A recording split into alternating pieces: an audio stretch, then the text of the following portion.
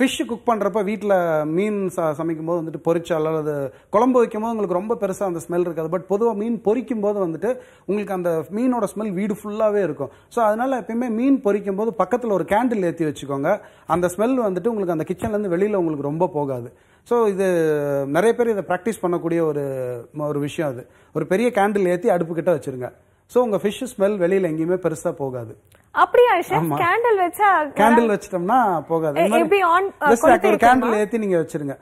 அதே மாதிரி வந்துட்டு வீட்ல யாருக்காவது உடம்பு சரியில்லை சிக்கா இருக்காங்க அப்படின்னா ஒரு பெரிய வெங்காயத்தை நாலா கட் பண்ணி அவங்க படுத்திருக்க இடத்துக்கு பக்கத்துல வச்சிருங்க. சோ அவங்க கிட்ட இருக்கிற அந்த கிருமிகள் எல்லாத்தையுமே அதை அப்சர்வ் பண்ணிடும் நேச்சுரலாவே அந்த பெரிய வெங்காயத்துக்கு அந்த ஒரு பவர் இருக்கு. ஓ ஸோ உடம்பு சரியில்லாதவங்களுக்கு வந்து சீக்கிரம் கியூர் ஆகணும் அப்படின்னா வெங்காயத்தை உரிச்சு பக்கத்துல வச்சிடணும். நல்ல ரெண்டு ஐடியா சூப்பரா சொல்லியிருக்காரு ஷெஃப் கண்டிப்பா நம்ம ட்ரை பண்ணி பார்க்கலாம்.